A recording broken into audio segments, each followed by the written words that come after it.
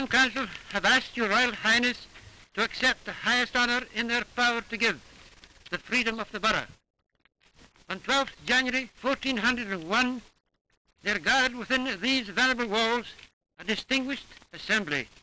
The King of Scotland, Robert III, and his son David, Duke of Rothesay, were present with many of the principal statesmen of the kingdom. On that occasion, the King was graciously pleased to grant the charter in favour of the borough. So far as is known, since that historic date, no Duke of Rothesay has entered this castle until your highness entered it today.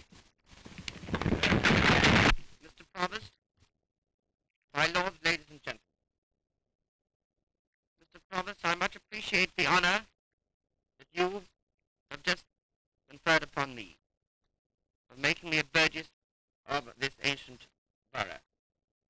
And I thank you for the very kind and flattering terms in which you have spoken, uh, admitting me as a freeman.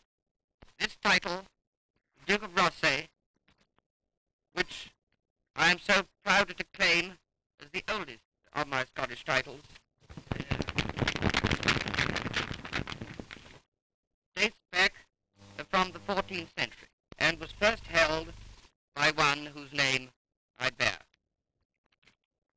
Over 500 years have elapsed since the creation of this title, and you here in Rothesay may well have wondered how many years it would be before the present holder came to set foot uh, in the borough. If it is true uh, that since those days of Robert III, no Duke of Rothesay has entered